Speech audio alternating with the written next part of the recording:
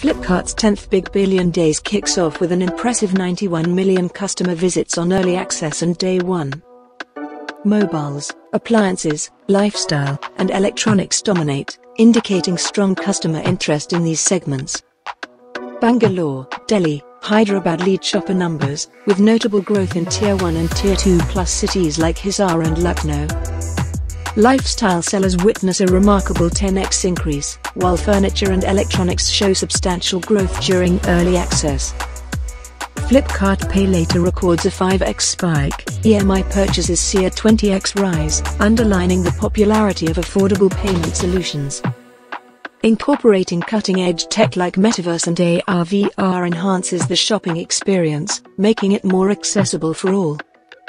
Cleartrip observes a preference for non-metro cities, with Goa, Jaipur and Udaipur being top choices for travel. During early access and day one, Jeeves conducts 10,000 plus installations, with TVs being the most installed appliance. With over 1.4 million sellers participating, the Big Billion Days affirms Flipkart's commitment to fostering opportunities for Indian businesses. The Big Billion Days over the past decade showcases Flipkart's dedication to providing value and affordability for all.